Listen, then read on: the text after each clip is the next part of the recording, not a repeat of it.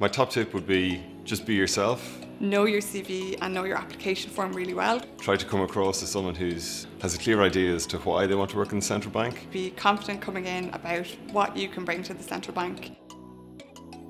I did do a lot of research beforehand, so that kind of helped to steady my nerves. You know, you really have to demonstrate what you put into words on your CV, so I suppose the team and case study aspect of it really gives you a chance to do that. I knew it would be a competency-based interview and just knowing my competencies. I think just for any interview in general, it's also very handy just know what's happening in current affairs. I think if you can tell the interviewer what you know, it really does make you stand out to others. And I think if you can do that, you'll be okay.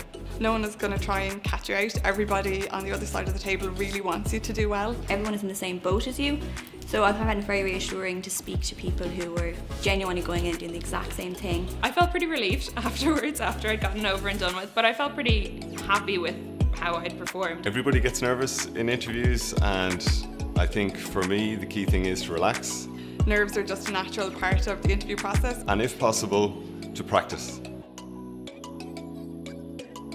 Power pose like Superman or power pose with your hands on your hips. Two minutes of deep breaths and you'll feel much stronger going into the interview part.